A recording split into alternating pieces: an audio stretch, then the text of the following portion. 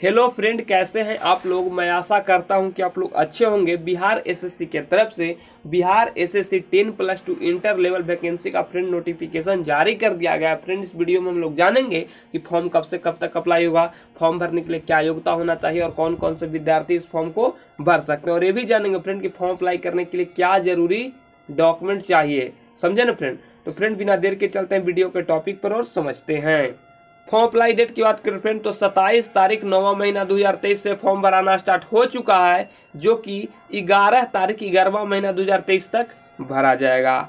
Application fee की बात करें फ्रेंड तो जनरल ओबीसी ईडब्ल्यूएस या कोई अदर स्टेट से फॉर्म भरता है। अदर स्टेट से भी फॉर्म भरिएगा फ्रेंड तो आप लोग को पाँच सौ चालीस रुपया लगेगा। किसको किसको लगेगा?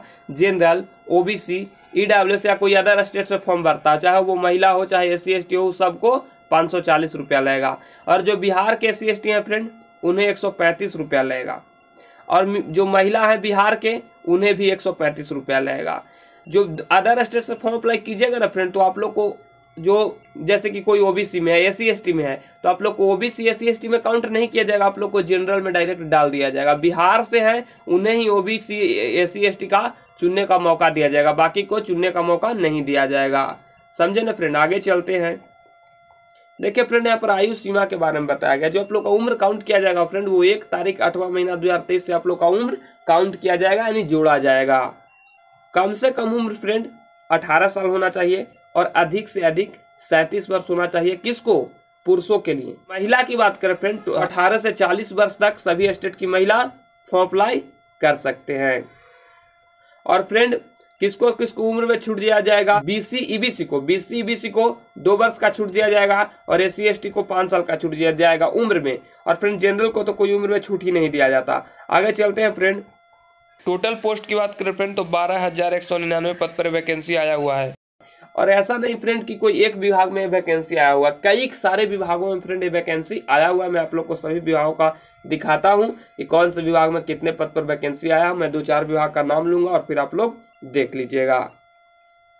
यहाँ पर देखिए फ्रेंड पथ निर्माण विभाग में अबर श्रेणी लिपिक के पद पर टोटल अड़तीस पोस्ट है। समझे ना?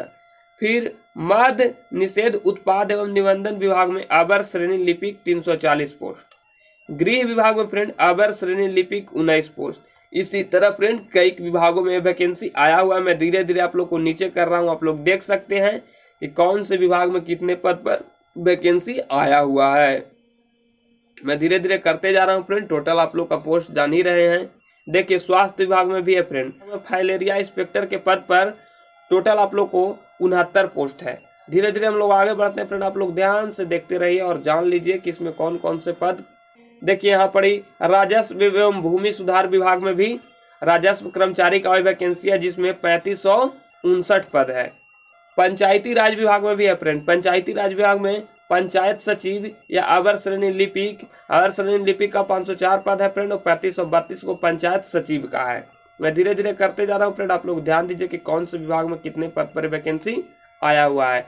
फ्रेंड, अगर आप लोग चैनल पर नए आए तो चैनल को सब्सक्राइब कर लीजिए, क्योंकि मैं आप लोग को जितने भी वैकेंसी आता है, उस सब के बारे में आप लोग को बढ़िया से अपडेट देता हूँ, कोई भी फेक न्यूज़ नहीं देता हूँ, आप लोग को रियल न्यूज़ देता हूँ और बढ़िया से बताता हूँ। फ्रेंड, अगर आप लोग को वीडियो पसंद आया हो तो वीडियो को लाइक कर दीजिए और गवर्नमेंट जॉब से अपडेट पाने के लिए चैनल को सब्सक्राइब कर लीजिए। तब एक ज़रूरी बात मैं तो आप लोग को बताना भूल ही गया फ्रेंड, ज़रूरी डॉक्यूमेंट के बारे में फॉर्म अप्लाई करने के लिए क्या डॉक्यूमेंट लगेंगे, इसके बारे में आप लोग को तो मैं बताना भूल ही गया। इसमें जो डॉक्यूमेंट लगने वाला है फ्रेंड वो आप लोग का दसवा का मार्कशीट लगेगा, बारहवा का मार्कशीट लगेगा, आधार कार्ड लगेगा, आप लोग का मोबाइल नंबर लगेगा फ़ोटो लगेगा सिग्नेचर लगेगा, और आप लोग का ईमेल आईडी लगेगा, और आप लोग का निवास प्रमाण पत्र लगेगा फ्रेंड और जिसके पास टाइपिंग का सर्टिफिकेट है जो टाइ, हिंदी इंग्लिश टाइपिंग करता है, उसका सर्टिफिकेट है तो वो वो दे सकता है। और फ्रेंड जो कंप्यूटर सीखा हुआ है, वो दे सकता है। और जिनके पास टाइपिंग और कंप्यूटर का सर्टिफिकेट नहीं है। वो ज़रूरी नहीं है कि उनके पास रहना ही चाहिए। जिनके पास है, वो दीजिए, जिनके पास न है न दे सकते हैं। समझे ना फ्रेंड लेकिन आप लोग के पास निवास प्रमाण पत्र होना चाहिए।